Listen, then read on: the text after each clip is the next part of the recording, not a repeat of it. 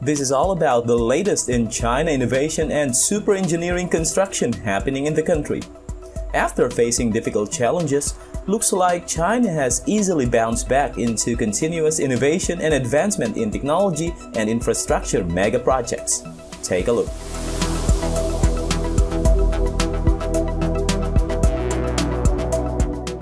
Hi everyone, Richard Aguilar here again and I'm back with another awesome video. But before we get started, don't forget to subscribe and smash the bell icon so that you don't miss any of our great videos.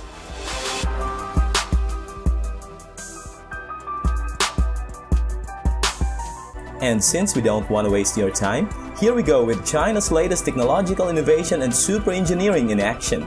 Number one is China's first satellites for IoT project.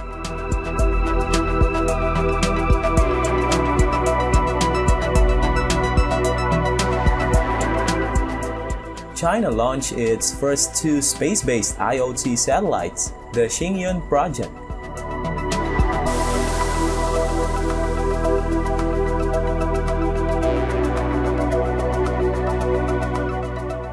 The satellites Xingyun 201 and 02 were launched by a Kuaizhou 1A carrier rocket from the Jiuquan Satellite Launch Center in northwest China.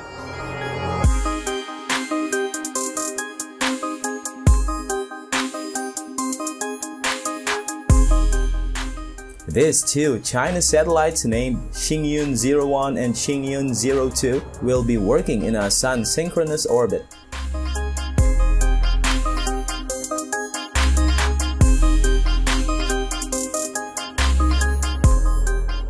The satellites will conduct tests on technologies including space-based IoT communications, inter-satellite laser communications, and low-cost commercial satellite platform.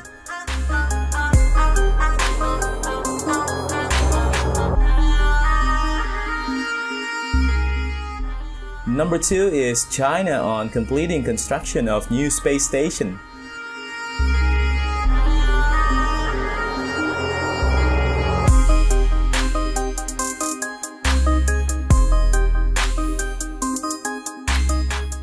China is already making success when it comes to manned space program.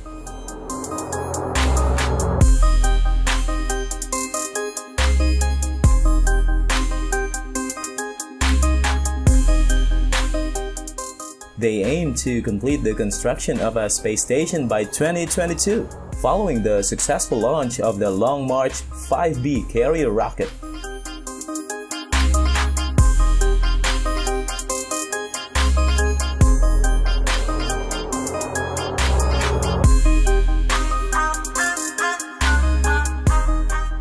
The new large carrier rocket Long March 5B made its maiden flight from the Wenchang Space Launch Center, sending the trial version of China's new and latest generation manned spaceship and a cargo return capsule for test into space.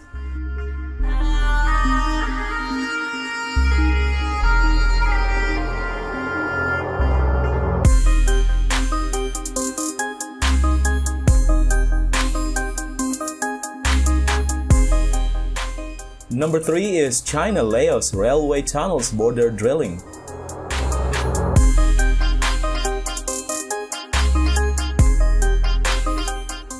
China Railway Number 2 Engineering Group said that it has drilled through the Friendship Tunnel from northern Laos to the border line with China.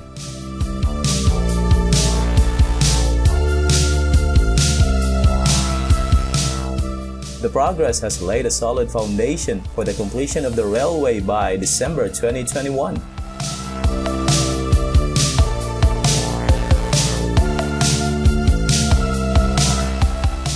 Number 4 is deck carrier transporting giant windmill blades.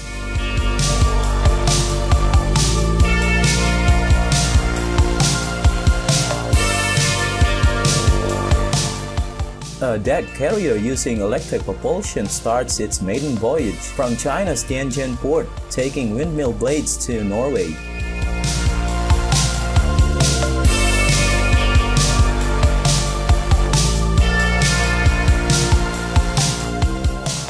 So if you haven't seen giant windmill blades, then here they are. They are as big as what you are seeing in here.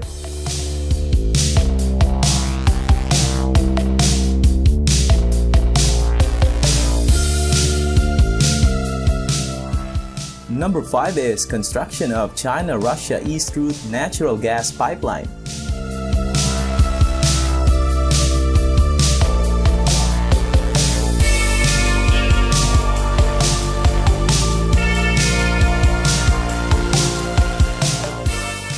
In northeast China's Liaoning province, construction of the China-Russia East Route natural gas pipeline is in full swing.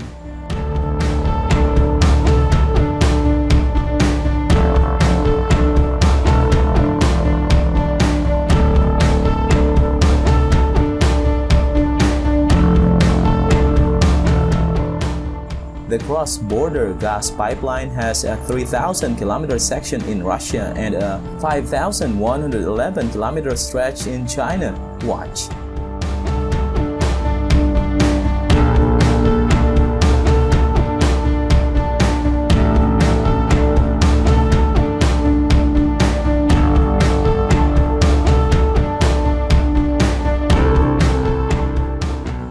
Number 6 is Mega Railway Bridge over Yellow River.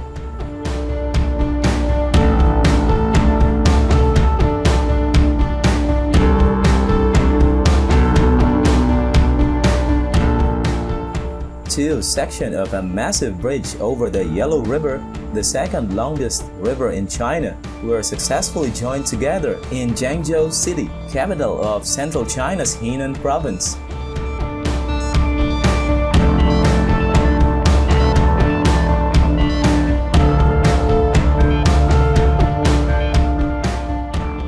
Part of the railways linking Zhengzhou and Jinan, capital of eastern China's Shandong province, the bridge has been designed as a common channel for many intercity and interprovincial routes to cross the Yellow River.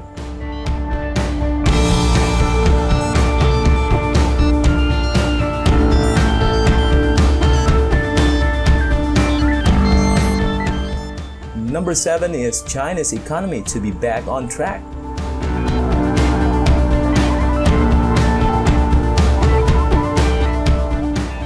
Despite the impact of COVID-19, the Chinese economy is now on the way to be back on track.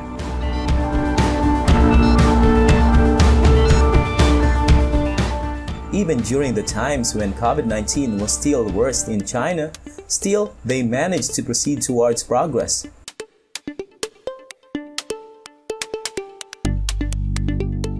And now, we can see that slowly but gradually, they keep their pace of becoming back on track when it comes to economic stability.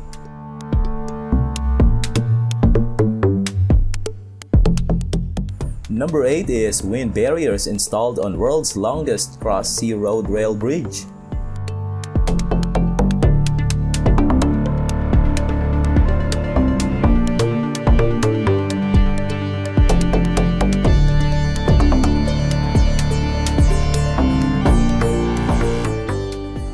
Workers are getting into the swing of installing wind barriers on Pingtan Strait Road Rail Bridge, the world's longest cross-sea road rail bridge in southeast China's Fujian province.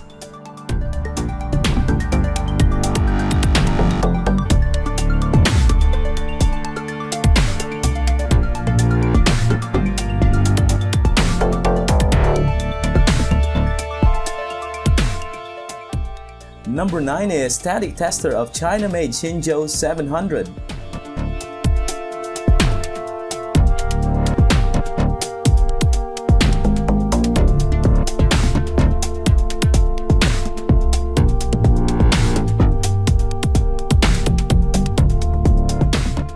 China is not behind when it comes to aerospace technology. And with that being said, here comes the static tester of China-made Xinzhou 700 aircraft, which has been delivered in Xi'an, China.